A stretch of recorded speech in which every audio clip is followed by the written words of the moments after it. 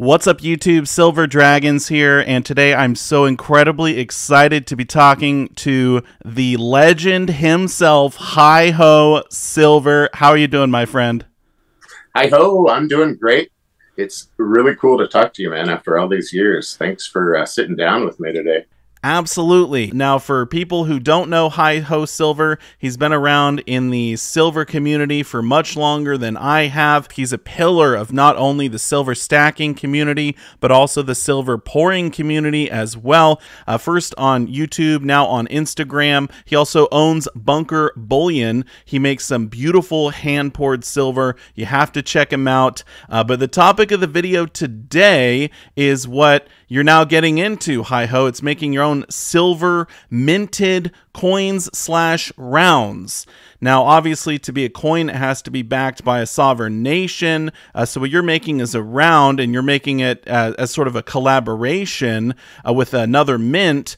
But what I wanted to do is sort of pick your brain because there's not a lot of information out there on the internet talking about, you know, how to make your own silver coins slash silver rounds. And, you know, many people want to make them for different reasons, maybe for their business, uh, for, you know, uh, to pass down to their kids or or what have you. Uh, but you've gone through this process. Can you talk about what it took to go from just design to the actual finished product?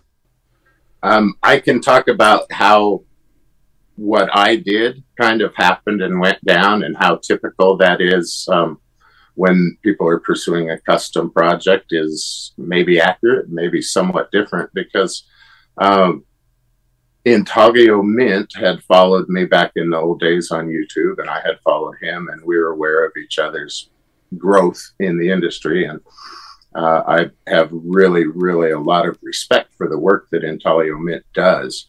And so I had this idea when I saw an engraving basically that had been carved into a sculpture at the base of a of a building in Washington D.C. at the base of uh, some stairs, and I thought, wow, that's inspiring. And it was it was George Washington um, praying uh, at Valley Forge. It was uh, entitled "The Prayer." At Valley Forge, and it was based on an engraving, which was in turn based on a painting done at the end of the 19th century, and it just kind of moved me, and it it uh, it's something that uh, I always wanted to do. And I just approached uh, Mark Bogani at Intaglio Mint and said, how would you like to work together on this? This is an idea I have. And, and I entitled it In God We Trust. And when you see the round, it's got In God We Trust prominently in the background field of the reverse. And it's just a stunning design.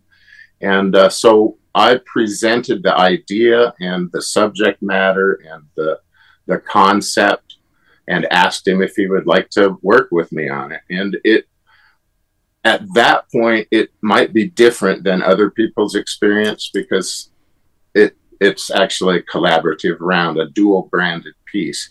Um, and it was a real honor for me too because when somebody puts their business logo next to somebody else's business logo, that requires a lot of trust.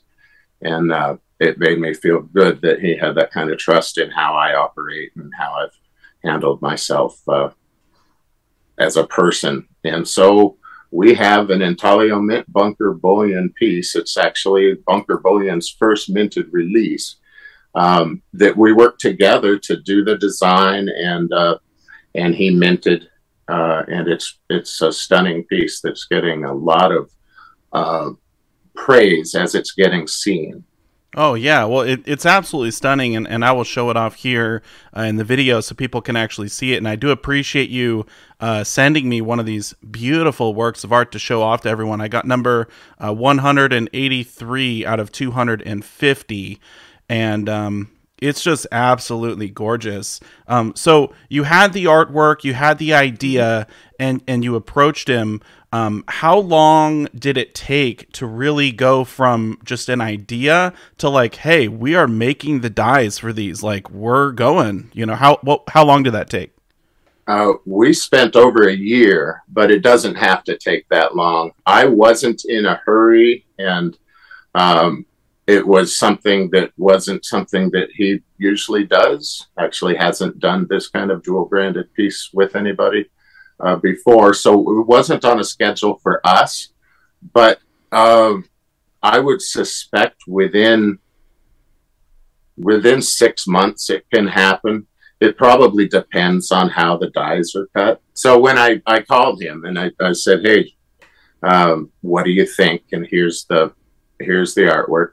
The first step that we did was to take uh, take the subject matter and figure out how to frame it within a, a round and where that should be. Um, and so it, it gets uploaded into a computer graphics program.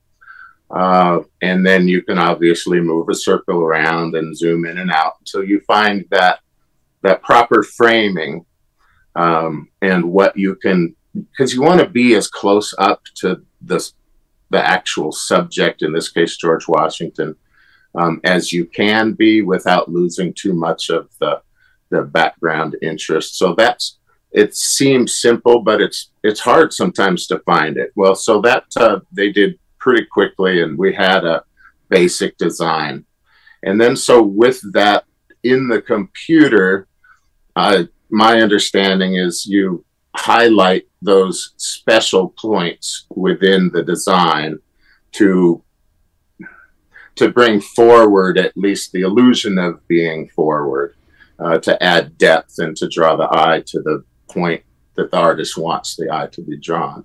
And so that was done.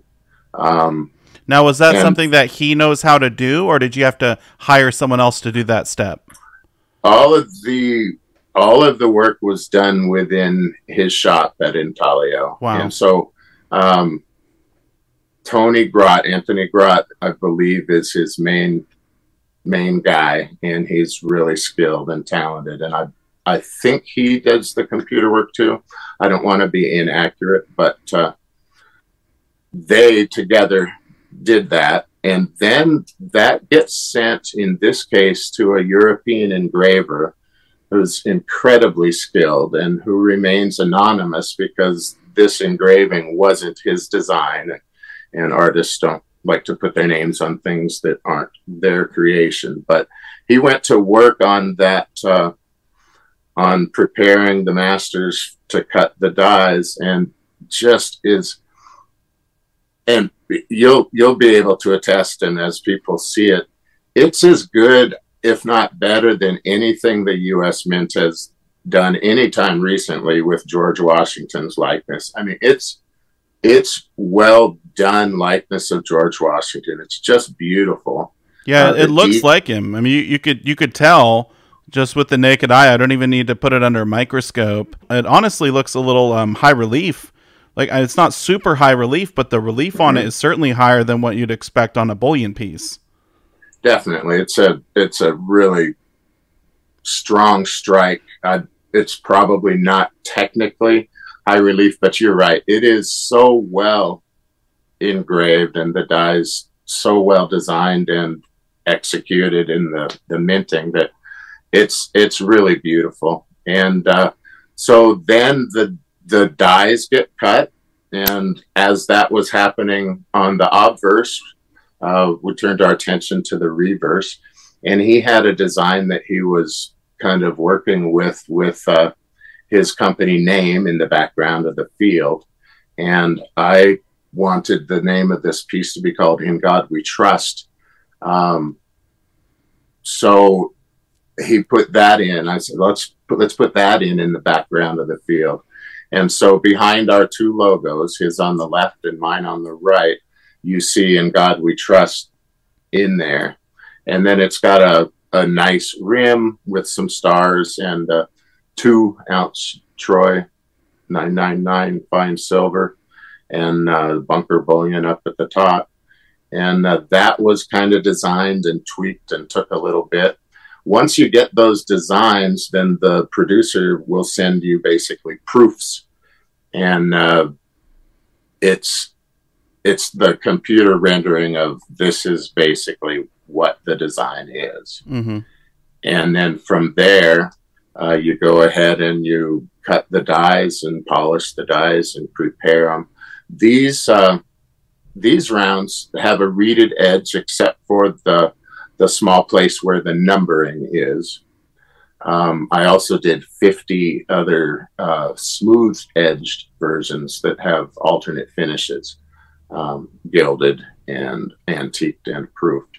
But the ones we did that are numbered. So then you have to kind of set a collar to do those. And, and uh, all of those things kind of just add to the, the cost of, of the final production.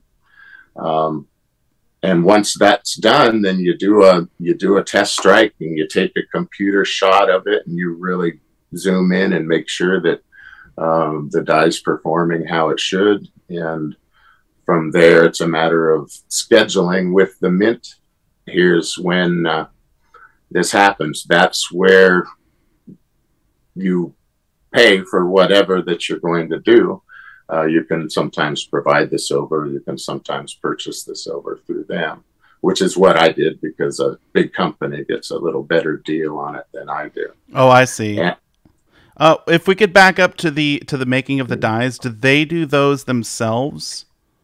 Okay, and then the "In God We Trust," it is it's very very like I can see it, I can easily read it, but is that like a special security feature almost? Like how small that is? Did they have to do anything special to be able to engrave it that small, or was it just their normal equipment as far as you know? That's that's all just that's just all high quality equipment and die production and striking ability. Yeah. I think his logo, if you see, has a little bit of a security feature built into it. Uh, but the "In God We Trust" part is just a fine, detailed text. I see. But it's it's raised, and and so it does kind of stand out and glimmer a little bit. Yeah, it looks really nice. Um, so how long did it take uh, from the dies being produced and and to say, okay, we now have the dies? Uh, how long did you have to schedule out for them to be minted? And do they actually have a mint there? Do they press them mm-hmm. in house, or where do where do they do that? It uh, he has a large operation in Denver, Colorado, and that's where they mint all of their pieces, and uh, that's where these were minted. Um, I don't know how typical our schedule was. I was preparing to go uh, present my my poured things in Las Vegas in the end of August, so I wanted to make them available to the community before I I went down there for a couple days. So uh, we kind of rushed it as quickly as we could to get through. Probably it was probably a couple of months, maybe okay. eight ten weeks, eight ten weeks. But I don't know how quickly or how slowly it would typically be. That's what what it was. And then he moved me up in the in the production schedule so that I could have enough time to do what I needed to do with them, which was appreciated. So I don't know the proper answer to that. So if someone wanted to get something custom made, I mean, they'd be looking probably like a year out. I mean, it, it's going to take quite a while. It you can definitely do it faster, and there are people in the silver community, probably on YouTube, definitely on Instagram and Facebook that have minting operations where they do their own design and and they do things faster. But uh, with Intaglio, they're they're busy producing their rounds that are are uh, successful. So fitting into his schedule was maybe a little more tricky than it would be with some mints. So I think you could probably someone will correct us in, in the comments if we're wrong. Probably within a couple of months, you could probably strike something with the way guys have such cool gear in their shops and in their house now where they can just you know, make little 3D printed things and then make a make a die of them and and do all that in house.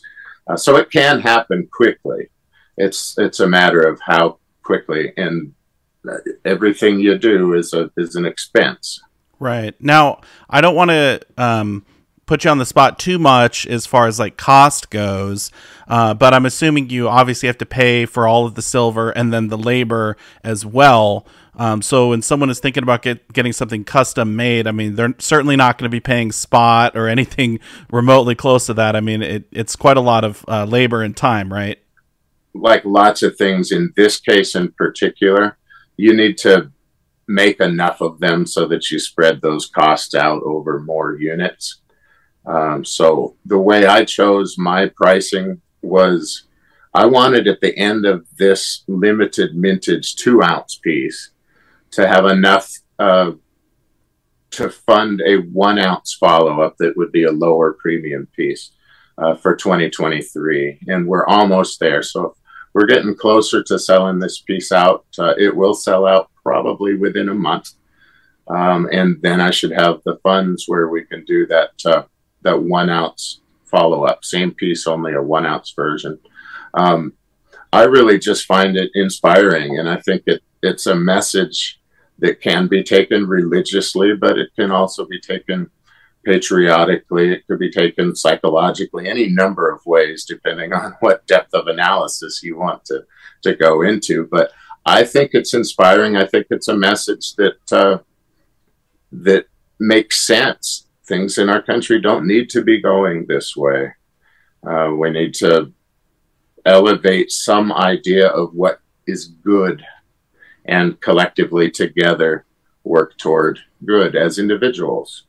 Um, and so I want as many people as possible to see and have this piece. And the one ounce version is how that'll that'll happen. So pricing it can be expensive. I would say um, probably double spot if you make a couple hundred of them that's just a guess, but it's not inexpensive, and the time is a huge part of the cost. Yeah, I can imagine, and and also um, the dies. Now, the dies that you had made for this piece, do you have to remake?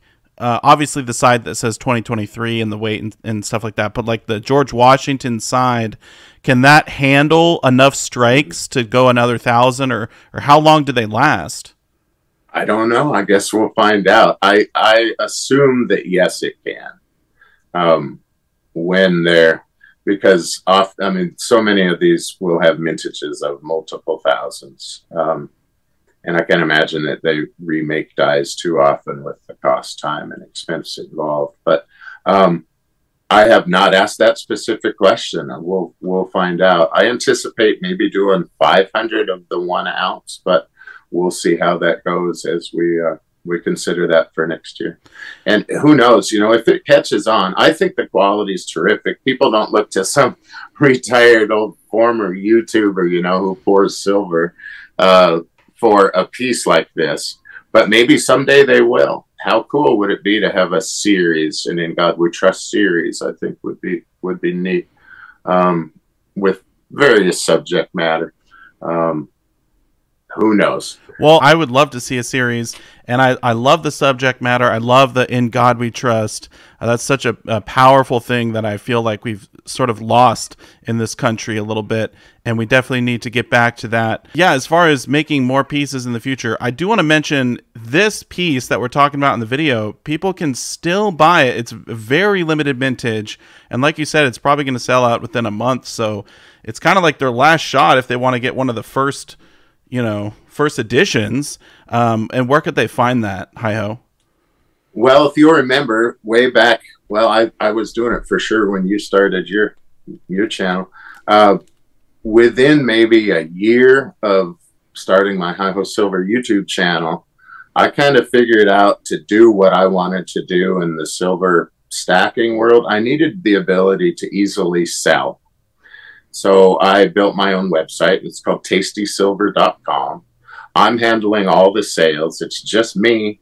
I do uh, I do all the shipping. I do everything. It's it's my site tastysilver.com. If you go there, you'll see a link, uh, and you'll be able to find more information and see HD photos and and uh, some uh, video of the obverse and reverse.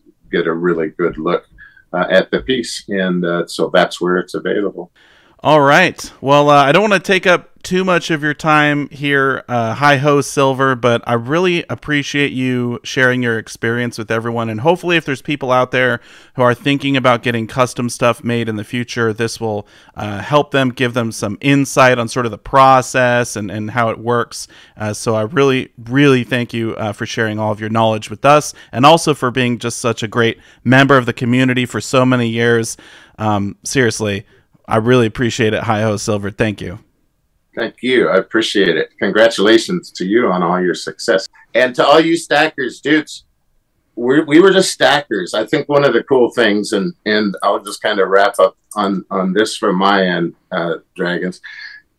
Neither of us could have envisioned, I'm, I assume, I know it's true for me, no clue as I was getting into this silver hobby and silver business kind of thing, uh, where I would be now not it would have never entered my mind as a possibility but by being open to experiences in life and having some sort of an idea of get up in the morning and work hard and and handle things in a moral way and and make yourself available to help others you know life opens up opportunities to us. And so uh, just keep your heads up. I know things are a little tough in lots of arenas right now and uh, if I can do it, you can do it. And you just kind of keep working, man, and love your families, love each other, try to live a good moral life, and things will work out great. Stack on, man. Absolutely. Great message uh, from a great person. Thank you so much. I appreciate the time. Thank you. I appreciate yours too. And to wrap this one up, I want to say a massive thank you so much to all of you for watching this video, and I will see you in the next one. Silver Dragons out.